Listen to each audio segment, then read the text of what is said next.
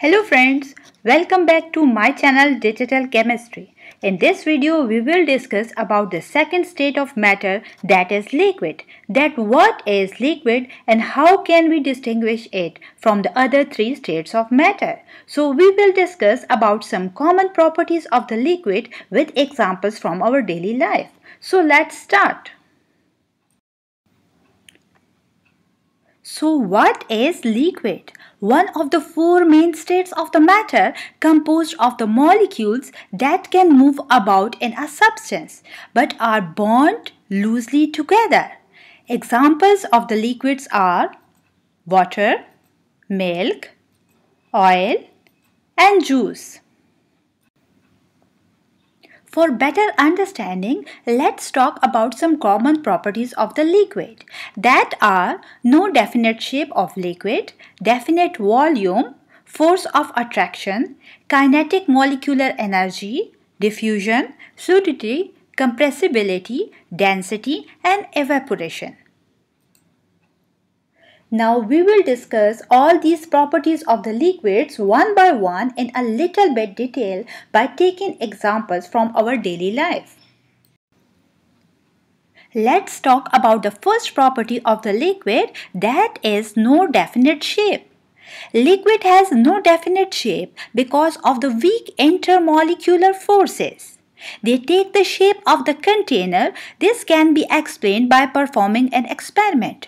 Let's take a known volume of a water in a glass, then transfer it into a round bottom flask and finally into a kettle.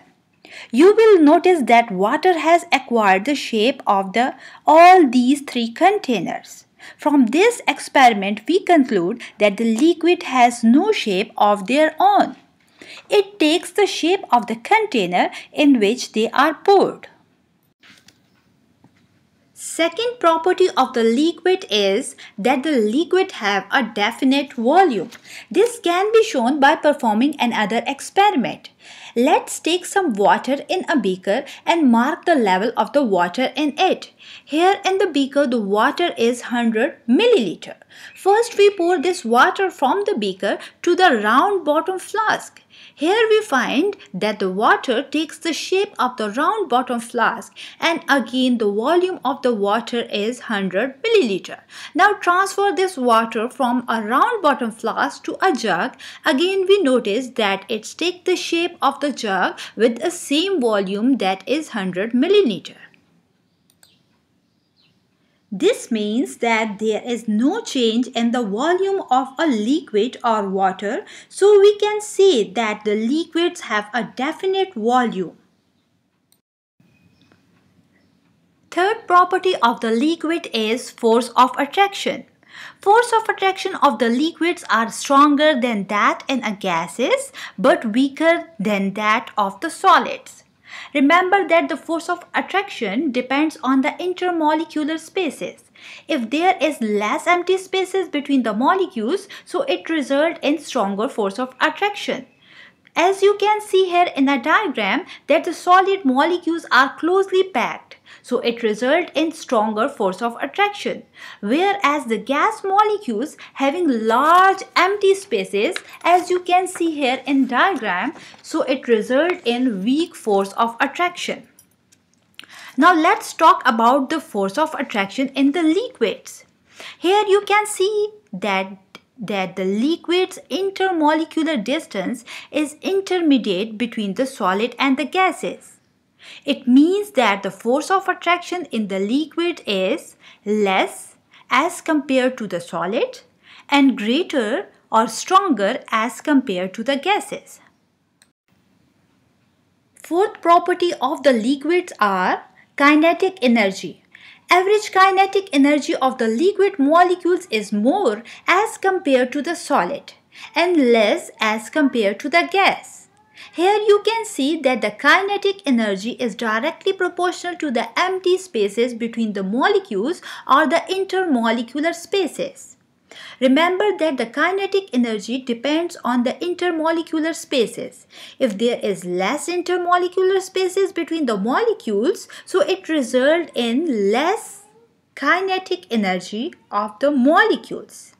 As you can see here in a diagram that the solid molecules are closely packed so it results in strong force of attraction and less kinetic energy of the molecules. Whereas the gas molecules having large empty spaces so it results in a weak force of attraction and more kinetic energy. Now let's talk about the liquids. Here, in case of the liquids, the kinetic energy of the molecules is greater as compared to the solids and less as compared to the gases. Fifth property of the liquids are diffusion. Liquids have the ability to diffuse into one another. To understand the process of diffusion, let's take an example from our daily life. Here ink and water both are liquids. Now pour some ink into water, you can notice that they mix easily to form a liquid mixture. Here blue circles represent the ink molecules and the orange circles represent the water molecules. Now the question that comes in our mind that why diffusion takes place in liquids and not in the solid. The answer is that the intermolecular spaces between the particles of the liquids are more which enables the diffusion and help in the intermixing of the certain liquids. And this is not possible in the solids because it don't have an, the intermolecular spaces in the solids. From this activity we conclude that the particles in the liquid state can easily diffuse. Sixth property of the liquid is fluidity. It means that the liquids have the flowing nature. This is due to the sliding of the layers of the molecules over each other. To understand the fluidity, let's take an example. Let us pour some water from a glass on the table. We will observe that the water flows further on the table. This is due to that the water have the flowing nature. Other examples of the flowing nature of the liquids are water molecules in the lakes, oceans, rivers, etc. slides over one another and show the flowing nature. Seventh property of the liquids are compressibility. Liquids are nearly incompressible due to very small empty spaces among the molecules as compared to the gases. So what is compressibility?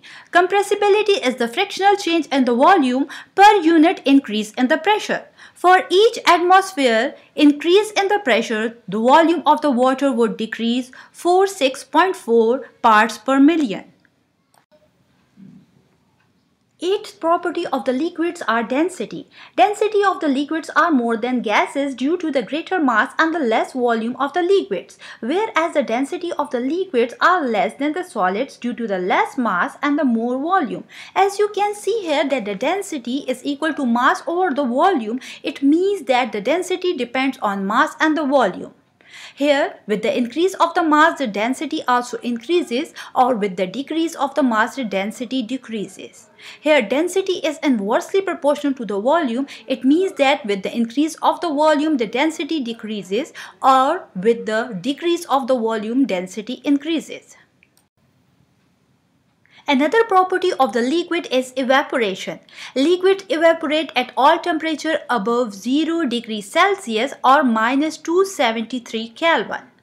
Remember that with the increase of the kinetic energy of the molecules, the rate of evaporation also increases.